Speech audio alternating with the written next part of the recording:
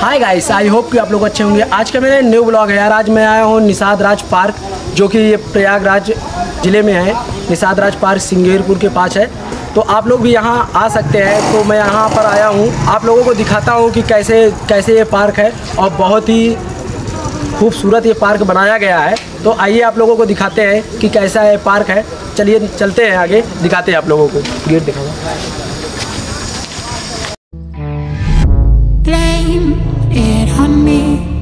just too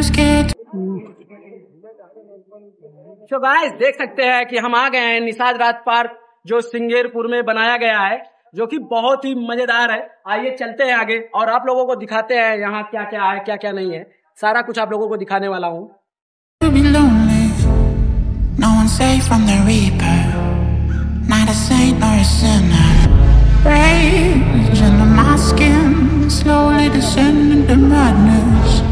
Let it spread like a virus. Be a friend with the violence.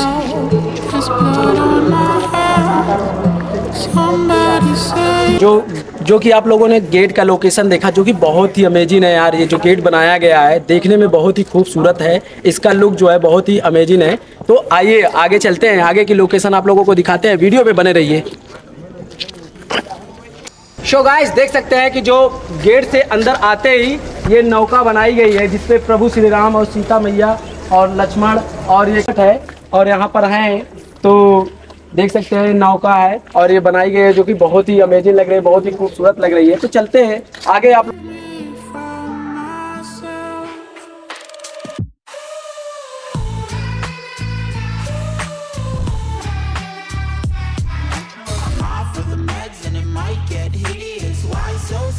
Finally guys देख सकते हैं कि ये प्रभु श्री राम की जो है कुटिया बनाई गई है। माता सीता और श्री राम लक्ष्मण जी खड़े हुए हैं और ये कुटिया जो है बहुत ही खूबसूरत बनाई गई है। देखने में बहुत ही खूबसूरत लग रही है। तो आप लोगों को देख लीजिए, मैं दिखा रहा हूँ, जो कि बहुत ही अमेजिंग है यार। अभी पार्क जो है बनाया जा रहा है, अभी पूरी तरीके से बना नहीं है। तो आप लोग यहाँ आइए और देखिए, बहुत ही अमेजिंग है भाई।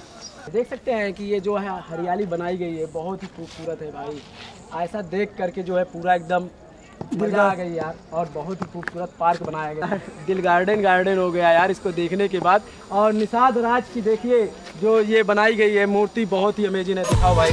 दिखा दो। तो आइए हम आपको दिखाते हैं निषाद राज की जो है ये जो मूर्ति बनी हुई है बहुत ही बड़ी है और देखने में बहुत ही खूबसूरत है। श्री राम भगवान और निषाद राज जो है बहुत ही बड़ी मूर्ति बनाई गई है।